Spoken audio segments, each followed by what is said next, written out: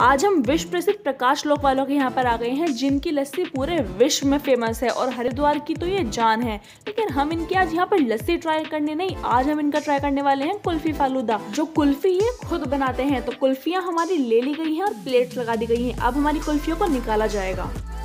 और यहाँ हमारा एक नहीं, यहाँ हमारा दो दो तरीके से फालूदा बनेगा। एक नॉर्मल फालूदे से और एक केसरी फालूदा भी इसके अंदर मिक्स किया जाएगा। तो कुल्फियाँ निकाली जा रही है हमारी।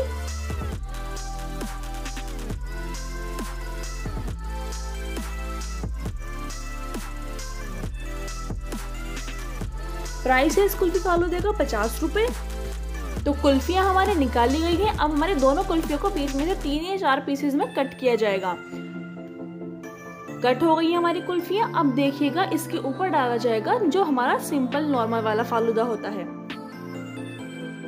सिंपल फालूदा हमारा डल चुका है। इसके बाद डलेगा इसके ऊपर केसरी फालूदा। नॉर्मली कुल्फी फालूदे में एक ही फालूदा डाला जाता है। यहाँ पर दो दो फालूदे हमें मिल रहे हैं। इसके ऊपर डाला जाएगा गुलाब जल।